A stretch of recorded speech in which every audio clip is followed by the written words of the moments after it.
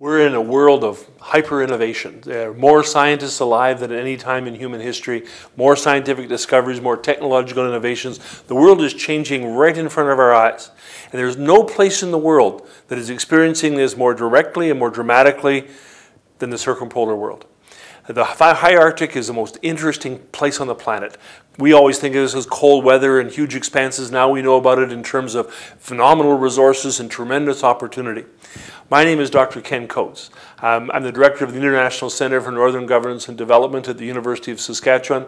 I'm going to be the instructor in this course on circumpolar innovation. What we're going to do in the next 10 weeks is basically explore the present and the future.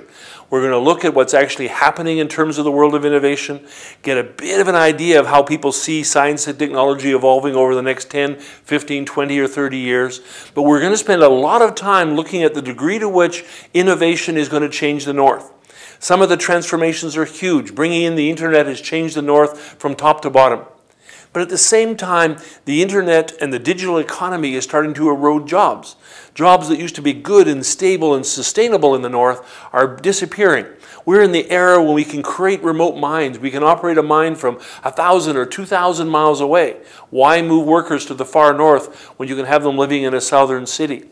The changes are going to be massive. Telehealth, teleeducation, e-commerce. The transformations are huge. We can create new energy sources. We can design houses differently.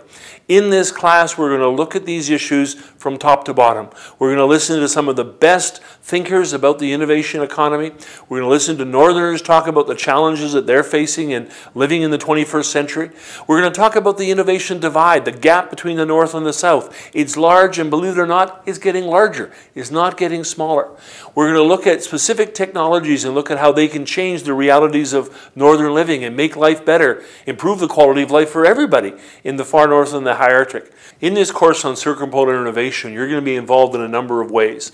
We're going to be watching videos, you're going to be reading some important academic documents, reading some government policy materials, scanning the statistics that will give you a bit of an insight into how northern innovation is working out and not working out.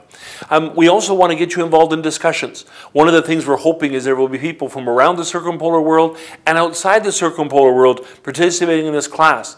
We want you to tell us what's happening in your communities. We want you to tell us how innovation is changing your life and how it's not changing your life. What's missing in terms of the innovation that is sweeping the rest of the planet. So there's going to be a lot of opportunity for us to talk to each other, a lot of opportunity for us to learn from each other, and really I see a great opportunity for us to explore the frontiers of science.